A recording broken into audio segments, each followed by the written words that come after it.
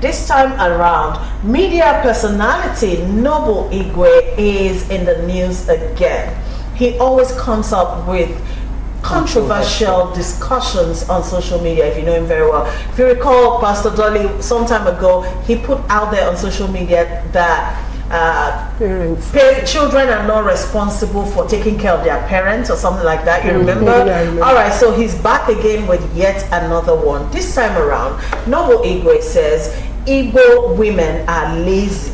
They just want to sit back and enjoy their husband's money.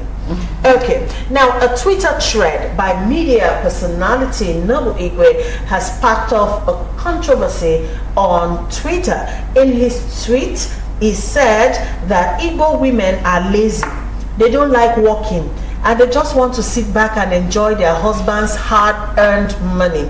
He said, unlike Igbo women, Yoruba women are hardworking, they build their own houses themselves, and they do not wait to inherit houses from their fathers. The Igbo women, on the other hand, they want to inherit their husband's property and then inherit from their father's house as well, but do nothing but answer Oriaku. Now, tomorrow, according to Noble Igwe, you will see other women tweet about how their mothers willed things to them and how it helped them do better. These tweets don't come from Igbo women.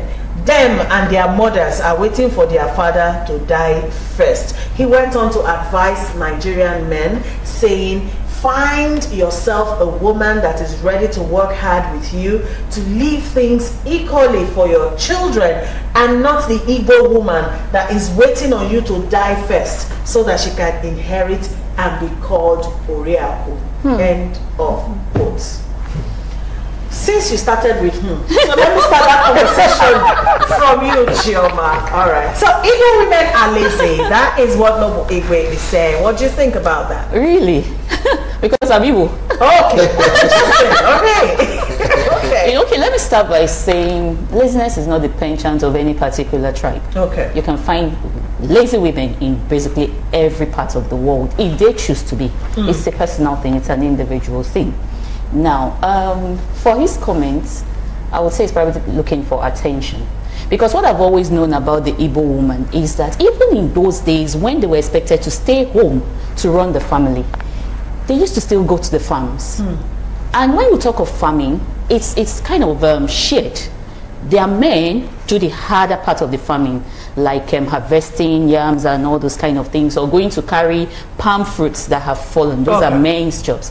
But they do the lighter farming, planting of um, corn, gathering the vegetables, and they still come home to fetch water, go to the stream, fetch water, take care of the children, prepare the meals.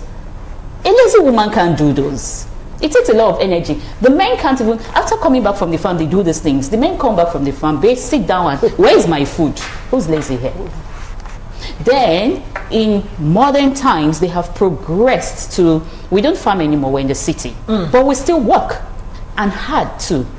As hard as our husbands, sometimes even harder. We still come home to run the house, mm. to take care of the children, to raise proper children for them. Mm. Who's this guy? Is he married? I don't understand. I think he's just looking for attention mm. for all I care. I'm waiting to spend a month's money. I'm yet to see it in 21 years of marriage. That's because I don't wait for it. I was raised by a strong woman. Up till tomorrow, my father would always boast that my mother started their house in the village with her money. Hmm. She didn't wait for my father. After she had done the foundation, my father now went and continued. And that's who raised me. That's how I operate. I don't wait for a man to do things for me. I'm not lazy. I don't. I don't even know what it means to spend a man's money. And there are a lot of women like that. So this guy should retract these statements. I find it insulting. Okay, all right, all right. So let me hear it from the man, and he's a Yoruba man. Interestingly, okay. Um, um, uh, thank you, ma. I yes, um, I will want us to ask the man. We try. Noble Igwe is He's Igbo Igbo. His name is That's why it's shocking. Yeah, so that's That is why. coming from an Igbo man. from an Yeah. Igbo man. So I think uh, he he said what he said out of experience. We call it bitter experience. His own experience. mm. That is own experience. I don't believe that all wi- all women in Igbo are lazy. So, ma, you will look if you look at the responsible, notable women among the famous one in the In industries society. in society today, you see that Igbo women are many, Mm. more than Yorubas. Yeah, I'm a Yoruba man, more than Yoruba women. So it depends on the perspective or how. Take for instance, you marry Igbo, you can tell your wife, "Don't work. I don't want you to work." Hmm. You know, these things started by the talking of love. I, I want you to be a housewife. So when things now begin to go beyond the capacity of a man, what he can control, you begin to see and begin to complain. Hmm. The next thing say you can't be sitting down at home any longer. Hmm. Just because what the, the foundation of their coming together has already been dented. There is a challenge there. Are you with me? Hmm. So not all the women in Igbo are who where is the money that the woman want to even chop? I wonder. I, I, I, I want to salute uh, the College of Women. Hmm. They are the one even doing the most tedious taxable job. Our duty is to provide means of livelihood for them. Mm-hmm. Thank you. Our duty is to make them happy because when we impregnate them, we leave them for that nine months in pains, we're running up and down. And they are the one to bear the pains and they will raise the kids. Ask how many fathers know the class of their children. Ask how many fathers know the uh, even the school fees. Eh-heh, I was about the even actual school fees. fees the woman is paying consign it. Ask how many fathers that know the number, the the class now that first born or second born, they will be telling you, eh, that my first born, Chinedu, that one uh, should be GSS two. Or even their birthday. They don't even remember They dates. They don't remember remember. dates. So it is this woman that will carry all these. and It's a it's a job on his own. Uh-huh. So hitting the money, who who will hit your money if, if not your wife? Who's supposed to inherit you if not your wife? Doesn't even have the money. that No, so to that just it. To me, I saw it as a perspective from a bitter experience. Maybe Yeah. a woman who they agreed on a certain level, and that is why she is using that word as a voice. Hmm. It's not general. I disagree. Well, can, can I say something Quickly, quickly. Okay, if you say he's yes, far, indeed, he's probably speaking from his own perspective Perspective. based on his own experience.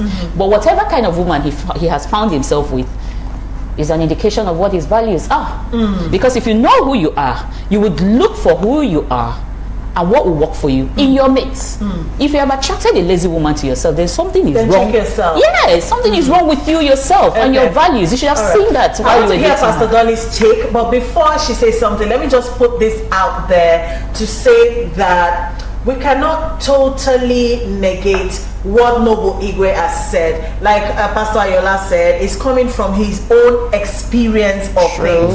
And again, let's not forget that the Igbos and issues bordering on inheritance.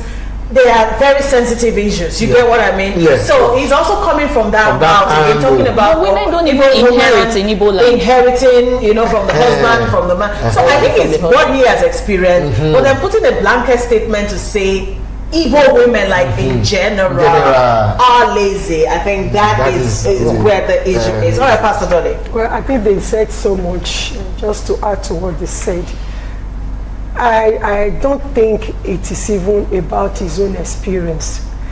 I think it's just about somebody who wants to get people talking. somebody who they just want to give us like he has given us work mm-hmm. now. Assignments. He want to give us assignment. I think that is just the kind of person he is. Because the first thing that came to mind when this whole issue came up, to, that came to my mind was just thinking about women in this nation that are doing great things, great names within and globally. Yeah. And I, I could see so many Igbo women Amongst them. amongst them. And uh, when we go to the marketplace, Hmm. The women we see in the marketplace, hmm. when we even see women that have babies in their back that are walking in the market. I think that particular market has been taken over You understand? Igbos. So somebody is coming out to say that, then you will ask yourself, has this person been in isolation for how long? that he doesn't know what is actually going on Outside. outside. Yes. So I think we shouldn't take him serious. Hmm. Hmm. All right, so a very sensational and controversial debate on social media. If you go on the social space, you will see his comments is really generating loads and loads and loads of counter reactions and all of that. Surprisingly, a lot of men are actually on his side and saying uh, Igbo women are quite complacent, as it were. But I don't know. But I'm not Igbo, you know, originally. But then. Um, by virtue of marriage, I have mingled with so many Igbo women, and one thing that stands them out, I think, is the fact that they are quite industrious. And So restless. I don't know where this Patience, patience. I think where the, I just thought from, where yeah. this thing may be coming from. Hmm. You know, when you have indomitable character, hmm. when you don't want to be oppressed, you understand. Now the Igbos are known for fighting over properties. Hmm. A lady labors with her husband, the husband passed, and the family are coming in to want to carry everything they both labored for. Mm. And the Igbo woman will resist such a thing. Mm-hmm. So if you, because she's resisting such a, you're coming out to say Say- she's lazy, she's after inheritance. No, she's not after inheritance. Mm. She's only fighting for what is right. rightfully hers. Mm. All right. Then again, I'm shocked that this kind of comment is coming from someone as well read and exposed, you know, a socialite even, such as Noble Igwe. You know, I'm shocked because we're trying to change the narrative in so many things, especially where the girl child and issues of mm-hmm. inheritance, you know, are concerned, you know, and then you're putting out this kind of statements and all that. What are you really trying to say? And this, of course, takes us to another Nigerian, an Igbo lady this time around. She's actually a fantastic writer. She went on social media to recount how her family members, male family members, actually approached her and encouraged her to tell the father to adopt a male child because herself and her younger sisters cannot inherit their parents' properties because they are girls, you know. So uh, we all know how the Igbos are with inheritance. It's still a very big issue in the East. Forget education, forget exposure. It is a big issue as to whether or not a female can actually inherit in her father's uh, uh, uh, family, you know, and all of that. So when you put out this kind of statement, you're just trying to, you know, uh, what's that word? To add more petrol to the to the fire. fire that's already burning. All right,